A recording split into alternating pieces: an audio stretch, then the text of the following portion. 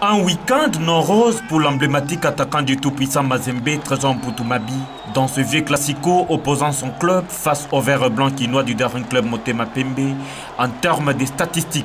Titularisé comme milieu offensif, l'ex-capitaine du tout-puissant Mazembe a joué 8 coups francs infructueux et sans conviction. Parfois inefficace dans les duels face aux défenseurs adverses, procédant même à des passes non appuyées, des pertes de balles à quatre reprises, favorisant des contre-attaques vers son camp, témoignant que les 45 premières minutes ont été sans conviction pour lui, donnant même anticipativement un cadeau de Noël à Barel Mouko sur un coup franc. Des retours des vestiaires, il s'illustre par des mauvais choix sur la dernière passe, une des rares qualités lui reconnues, face respectivement à Ushindi, faisant un meilleur appel pourtant, ou encore Moulika Jackson, mieux positionné.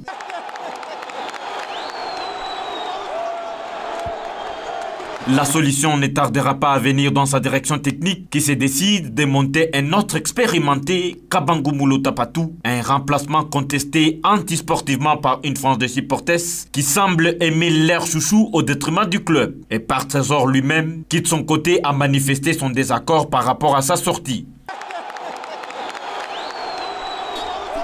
Au finish, le coaching a été payant avec notamment les deux buts obtenus par ces deux rentrants Patuka Bangumuluta sur cette passe de Jackson Mouleka, puis Renfort Kalaba qui va se coucher pour alourdir les scores. On en restera à 2 buts à 0 dans cette rencontre entre les deux clubs engagés aux interclubs de la Confédération africaine de football.